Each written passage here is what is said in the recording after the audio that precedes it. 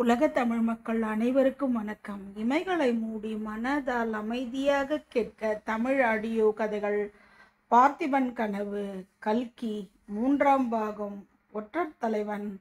நல்ல சமயத்தில் வந்து தன்னை காப்பாற்றிய குதிரை வீரரிடம் விக்ரமனுக்கு நன்றி உணர்ச்சி உண்டாயிற்று. அவ்வீரனுடைய கேள்விக்கு மறுமொழியாக ஐயா நான் வியாபாரி. உறையூருக்கு போவதற்காக இந்த குறுக்கு வழியில் வந்தேன். வந்த இடத்தில் இந்த ஆபத்து நேர்ந்தது. நல்ல சமயத்தில் நீங்கள் வந்து உதவி செய்தீர்கள் என்றான். வியாபாரியா நீர்? கவுல் பிடிக்கும் கையா இவ்வளவு லாவகமாக கத்தி சுற்றுகிறது நம்ப முடியவில்லை ஐயா. என்ன வியாபாரம் செய்கிறீரோ? ரத்ன வியாபாரி நான். கத்தியை உபயோகிக்கவும் பழகி இருக்கிறேன். அழகுதான். ரத்ன வியாபாரியா இம்மாதிரி காட்டு வழியில் தனியாக கிளம்பினீர்? அதுவும் இரா வேலையில் நஸ்ம சக்கரவர்த்தியின் புகழை கேட்டு ஏமாந்து போனேன். அவருடைய ஆட்சியில் திருட்டு பொருட்டே கிடையாது என்று கடல்களுக்கு அப்பால் உள்ள தேசங்களிலெல்லாம் ஜனங்கள் பேசிக்கொள்வதை கேட்டிருக்கிறேன். ஓஹோ வெளிநாட்டிலிருந்து வந்தீரா? நினைத்தேன் அப்போதே. எந்த நாட்டிலிருந்து வருகிறீர்கள் ஐயா? எனக்கு செண்பகத்தீவு. செண்பகத்தீவா? நானும் கேள்விப்பட்டிருக்கிறேன். அந்த நாட்டில் ரத்தனங்கள் அதிகம் உண்டு என்று. நல்லது. ரத்ன வியாபாரி செய்ய வந்த நீர். முதலில் காஞ்சிக்கல்லவா போக வேண்டும்? இவ்வளவு அவசரமாக உறையூருக்கு கிளம்பியது ஏனோ? சொல்கிறேன் ஐயா ஆனால் தாங்கள் யார் என்பதை தெரியப்படுத்தவில்லையே. நான் யாராயிருந்தால் என்ன? என் உயிரை காப்பாற்றியவர் யார் என்று நான் தெரிந்து கொள்ள வேண்டாமா? உம்முடைய உயிரை நான் காப்பாற்றவில்லை. நீரே தான் காப்பாற்றி கொண்டீர். மூன்று பேரை வேலை தீர்த்த உமக்கு இன்னும் ஒருவனை தீர்ப்பது பிரமாதம் என்றும் இல்லை.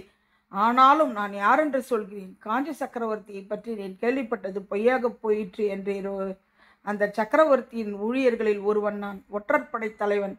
நீ தனியாக இந்த காட்டு வழியை போகிறீர் என்று எனக்கு தகவல் வந்தது. ஏதாவது அபாயம் நேரலாம் என்று எதிர்பார்த்து உடனே புறப்பட்டு வந்தேன். அப்படியா? என்ன விந்தை? சக்கரவர்த்தியின் ஒற்றற்படை அவ்வளவு திறமையாகவா வேலை செய்கிறது?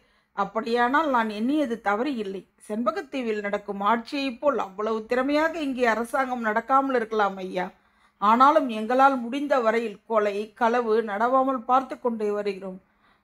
பார்க்க போனால் இரவில் தனியாக வழியே வந்த நாலு உயிர்களின் மரணத்துக்கு காரணமாயிருந்ததன் பொருட்டு உம்மை நான் பிடித்து கொண்டு போய் சக்கரவர்த்தியின் முன்னால் நிறுத்த வேண்டும்.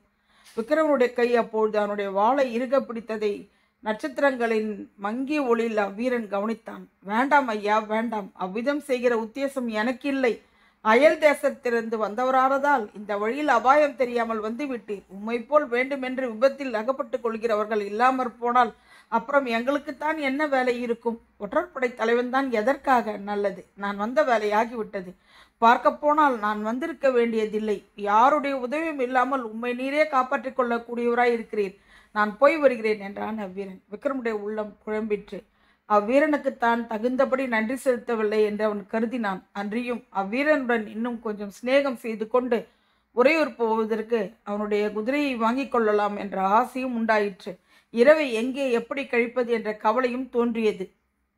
அப்படியென்று அந்த சமயத்தில் தாங்கள் வந்திராவிட்டால் ஒருவேளை நான் உயிரிழந்திருப்பேன்.